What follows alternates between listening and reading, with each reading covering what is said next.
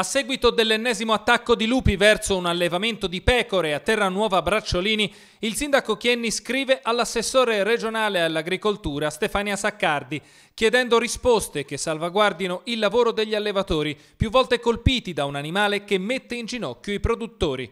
Una situazione che grava sugli allevatori, spiega Chienni, provocando ingenti danni economici e vanificando l'impegnativo lavoro che svolgono. Una salvaguardia del lavoro dei produttori, ma anche del bestiame stesso. Oltre ai capi uccisi, infatti, quelli che riescono a sopravvivere dall'attacco rimangono traumatizzati, producendo così meno latte. Come se non bastasse, lo smaltimento delle carcasse ha un costo per l'allevatore che così, oltre al danno, vede anche la beffa. L'appello di Chienni è solo l'ultimo di una lunga serie che ha visto coinvolte anche le associazioni di categoria richiedere più volte interventi alla Regione, ente competente in materia.